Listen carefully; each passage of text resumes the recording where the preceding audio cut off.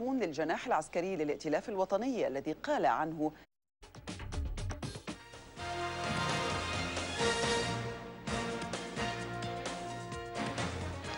شكرا توني وأعود وأرحب بجميع المشاهدين مباشرة من بيروت.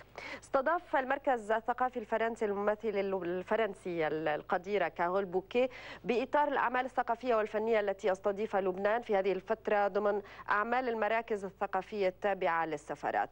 واختارت النجمه الفرنسيه قراءة نصوص جريئة للكاتب الفرنسي انطونان أرتو بهدف التعريف بالشاعر والإضاءة على على نواحي الجمال بشعره عن هذا الموضوع نتابع التقرير التالي للزميلة ساندرا سعد.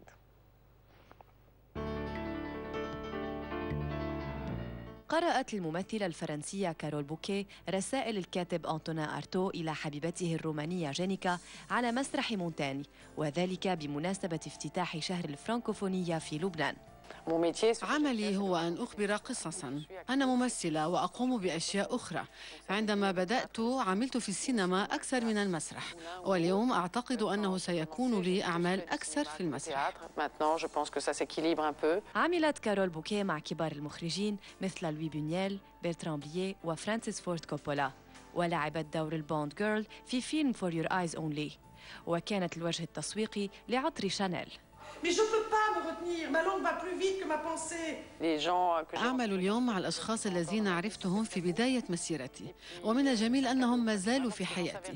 أحضر فيلم مع المخرج الأفغاني عتيق رحيمي بالتعاون مع جان كلود كارير وفيلم ثاني للمخرج الفرنسي دانيال أوتوي. رغم حبها للأدب الفرنسي لا تفكر كارول بوكيه في كتابة سيرتها الذاتية بل تفضل القراءة. لا أعتقد أنه يمكنني أن أعطي نصيحة في مجال عملي. إنها مسألة حب للعمل. هناك الكثير من الدروب المختلفة للوصول إلى النجاح.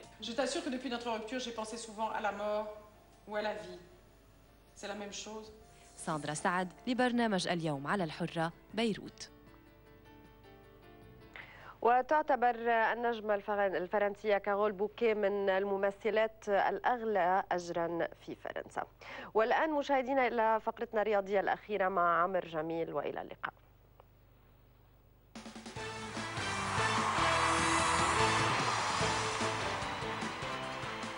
شكرا لك يا